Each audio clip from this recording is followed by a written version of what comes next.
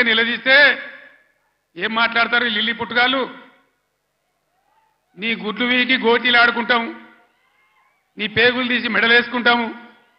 నిన్ను పండబెట్టి తొక్కుతాము. నీ ముడ్డి మీద షెటిల్ లేకుండా షెటీలు గుద్దుకుంటాము. ఇదేనా పదేళ్ళలో నేను ముఖ్యమంత్రి ఉన్నప్పుడు ఒక్కసారి ఇటువంటి మాట విన్నారా? ఇంత అగౌరవంగా మాట్లాడినామా? ఇంత అన్యాయం మీ కళ్ళ ముందనే జరగాలన్నా దయచేసి ఆలోచన చేయాలి. ఎలక్షన్ అంటే ఓట్లు అంటే ఏదో ఆగమాగం ఓట్లేసుడు కాదు. ఇలా సభలో ఉన్నారు. నేను నేనే ఒక నూరు నూట యాభై లారీలు దాటుకుంటూ వచ్చిన.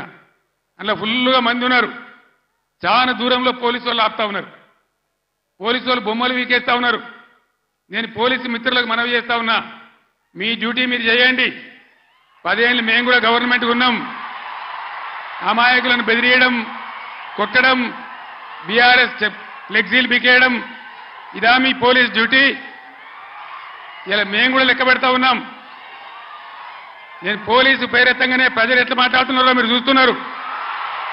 ప్రజల గోల చూస్తున్నారు. ఇప్పటికైనా మీ అరాచకాలు బంద్ చేయండి జాగ్రత్త. లేకపోతే మళ్ళా గ్యారంటీగా బీఆర్ఎస్ అధికారానికి వస్తుంది. అప్పుడు మీ గతి ఏమైతే ఆలోచన చేసుకోవాలి. పదేళ్ళు మేమున్నామే పదేళ్ళు నేను ముఖ్యమంత్రిగా ఉన్నానే. ఒక్క రోజన్నా మేము దౌర్జన్యం చేసినామా? ఎవరినైనా వేధించినమా? మరి ఎందుకు మీడియాలో మితిమీరిన పనులు చేస్తా ఉన్నారు పోలీసులు? దయచేసి మానుకోండి. పోలీస్ సోదరులారా మేమన్నీ రికార్డు చేస్తా ఉన్నాం.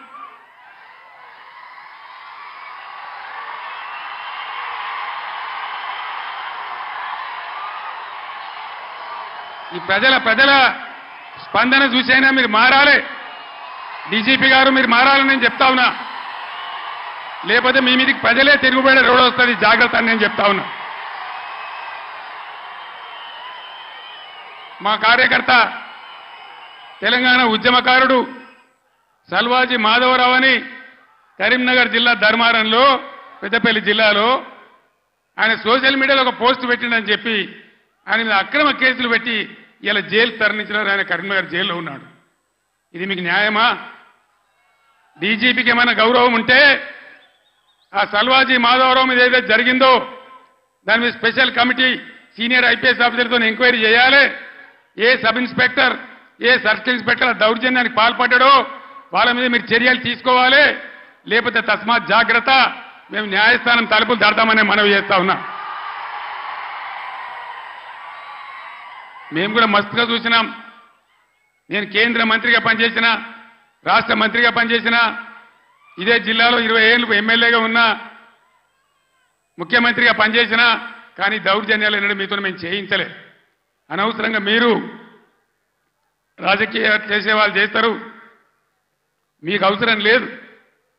ఆయాల ఎక్కడ చూసినా వరి కోతలు ఉండే. ఇవాళ కరెంటు కోతలు క్రాప్ హాలిడేలు. దయచేసి ప్లీజ్.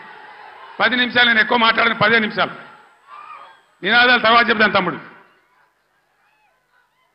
ఇదేంద్ర అంటే ఆ రోజు ఇయ్యాలని ముఖ్యమంత్రి చెప్పిండు రెండు లక్షల రుణమాఫీ డిసెంబర్ తొమ్మిది తారీఖు. ఏడవ డిసెంబర్ తొమ్మిది తారీఖు?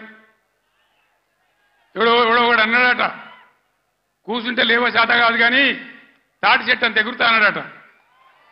డిసెంబర్ తొమ్మిది పోయింది అన్ని పోయినాయి మళ్ళా ఆగస్టు పదిహేనుకి చేస్తామంటారు మన ఇంకో ఎమ్మెల్యే రేవూరి ప్రకాష్ రెడ్డి అని ఏడాది తర్వాత చేస్తామంటారు అసలు వీళ్ళు చేస్తారా వీళ్ళని నమ్మచ్చునా?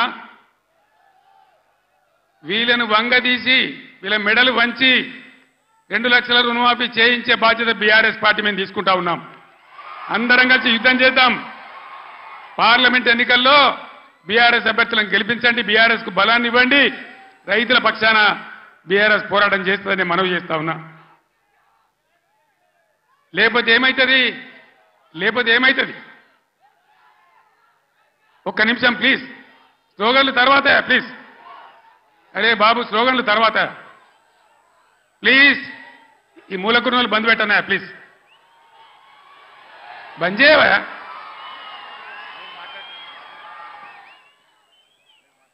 ఏం జరుగుతుంది చెప్పండి? ఒకసారి ఆలోచన చేయాలి ప్రజలు. ఓట్లు ఆగమాగం వేయద్దు. ఎవడో ఏదో చెప్తాడు. ఇదివరకే మొన్న దెబ్బతిన్నాం. మొన్న ఎలక్షన్ దెబ్బలు తిన్నాం కింది మీద అయిపోయినాం. ఎంత ధీమాగా ఉండ్రి రైతులు ఎంత మంచిగా ఉండ్రి